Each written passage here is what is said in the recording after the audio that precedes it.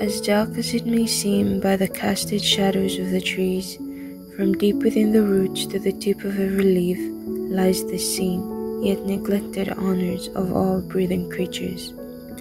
From flowers that smile at the peeping sunlight, birds that endlessly chirping in their comfort zone, to the snakes that slithered beneath the stale and fallen leaves, and the sweet aroma of oxygen exhaled to humankind, lucky are we who seem to have it all. Boom! Time ticks and on the unblitzed has began to evaporate. From the harmonious songs rendered by the birds to the hissing snakes, the fresh scent of dancing leaves to the snaky insects, sabotaged by man-made hulky machines, the picture's skew setting faded. Dearer the lifestyle, the more the impureness.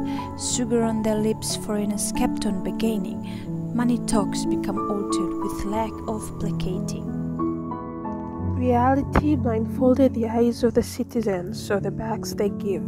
The tears of the innocent creatures watered the earth's surface rapidly. Buried under the sea, homes and gardens vanished. Stray animals around, shoo shoo, madly irritated humans went. Atmosphere leaks, and now the sun is reignited than before. Barren are the crops, and the soil got thirstier. Still, the cries of the nature remain unheard. The calling for change still echoes.